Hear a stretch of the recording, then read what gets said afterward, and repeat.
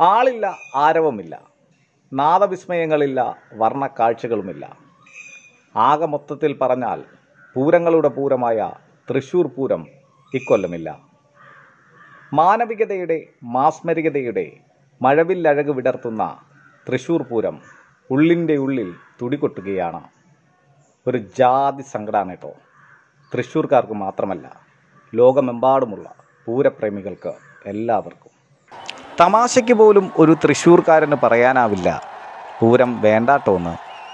കേരളത്തിന്റെ സാംസ്കാരിക നഗരിയിൽ നിന്നും വിടർത്തുന്ന മാനവികതയുടെ മഹോത്സവങ്ങളുടെ മഹോത്സവമായ പൂരത്തിന്റെ ആ ആവേശക്കുട ലോകമെമ്പാടുമുള്ള പൂരപ്രേമികൾക്കാണ് ആവേശ കുളിർമഴ പെയ്യിക്കുന്നത്. കണ്ണിനും കാതിനും ഇമ്പമുള്ളതെന്തൊക്കെ ഈ ലോകത്തിലുണ്ടോ അതെല്ലാം തൃശ്ശൂർ പൂരത്തിനുമുണ്ട്. മാലോകരെല്ലാം ദേശഭാഷ പ്രായലിംഗ വ്യത്യാസങ്ങളൊന്നും തന്നെയില്ലാതെ മുട്ടിയുരുമി നിന്ന ആവേശത്തിന്റെ പരകോടി പ്രയാണം നടത്തുന്ന തേക്കിങ്കാട് ഈ വർഷം ഉറങ്ങിക്കിടക്കുകയാണ്. ലോകത്തെ വരിഞ്ഞു മുറുക്കിയ മനുഷ്യ ശരീരങ്ങളെ അകറ്റി നിർത്തുന്ന കൊറോണ വൈറസ് കാരണം ഇത്തവണ നമ്മുടെ പൂരങ്ങളുടെ പൂരം ചടങ്ങുകളിൽ ഒതുക്കി. പൂര വിളംബരമില്ല പൂര സ്റ്റാളില്ല പൂര കച്ചവടമില്ല പൂര എക്സിബിഷനില്ല. തെക്കോട്ടിറക്കമില്ല ഘടകപൂരങ്ങളില്ല പാണ്ടിമേളമില്ല പഞ്ചാരിയും. ഇലഞ്ഞിത്തറയിൽ മേളമില്ല മടത്തിൽ വരവിന് പഞ്ചവാതിപ്പും പുറപ്പാട് എഴുന്നള്ളത്തില്ല അകമ്പടിയായി ചെമ്പടമേളവും. പാറമേക്കാവ് തിരുവമ്പാടി ഭഗവതിമാരുടെ പരസ്പരമുള്ള കൂടിക്കാഴ്ചയില്ല കുടമാറ്റമില്ല പകൽപൂരമില്ല വെടിക്കെട്ടില്ല. അതിനാൽ തന്നെ ദേവിമാർ ഇത്തവണ ഗജരാജന്മാരുടെ മുകളിലേറി ഉപചാരം ചൊല്ലി പിരിയുന്നുമില്ല.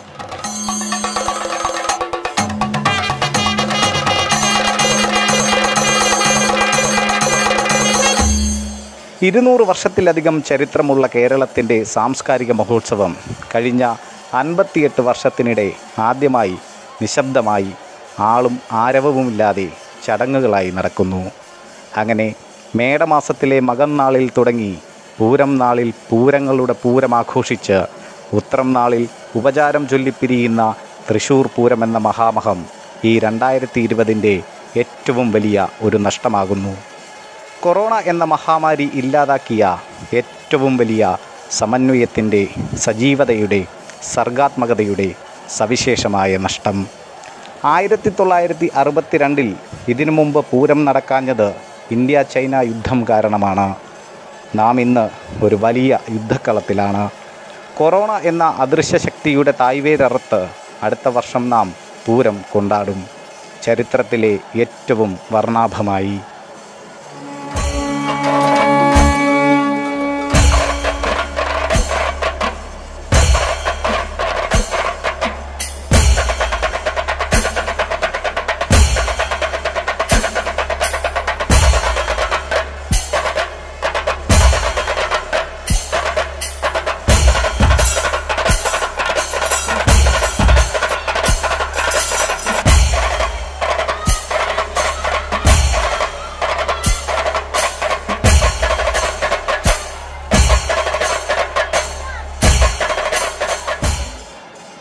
നഷ്ടബോധമുണ്ട്. മറച്ചു വെക്കാനാവില്ല. ഓരോ തൃശ്ശൂർക്കാരനും മാത്രമല്ല മലയാളക്കരയ്ക്ക് ഒന്നാകെ. അവിടെയും തീർന്നില്ല. ലോകത്തെമ്പാടുമുള്ള പൂരപ്രേമികൾക്കെല്ലാം. ആളും ആരവവും ആനയും അസുരവാദ്യവും അന്തരീക്ഷത്തിൽ അലങ്കാരമാകുന്ന കരിമരുന്ന് പ്രയോഗവും. ഹോ എന്തൊരു നഷ്ടമാണ് രണ്ടായിരത്തി ഇരുപതിന് കണ്ടത് മധുരതരം കാണാത്തത് അതിമധുരതരമെന്നല്ലേ? അതെ രണ്ടായിരത്തി ഇരുപതിൽ പൂരം കൊട്ടിക്കയറുന്നത് ഓരോ പൂരപ്രേമികളുടെയും മനസ്സിലാണ്. സർഗാത്മകത കൊണ്ട് ചരിത്രമെഴുതിയ ശക്തന്റെ തട്ടകം അടുത്തയാണ്ടിനായി കാത്തിരിക്കുന്നു. കച്ച മുറുക്കി തന്നെ.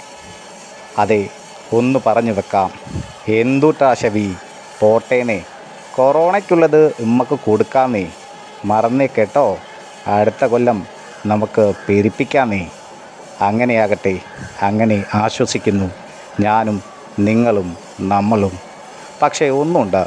രണ്ടായിരത്തി ഇരുപതിന്റെ ഏറ്റവും വലിയ നഷ്ടങ്ങളിലൊന്ന് അത് പൂരങ്ങളുടെ പൂരമായ തൃശ്ശൂർ പൂരം തന്നെയാണ്. ന്യൂസ് ഡെസ്ക് തത്തുമൈ ന്യൂസ്.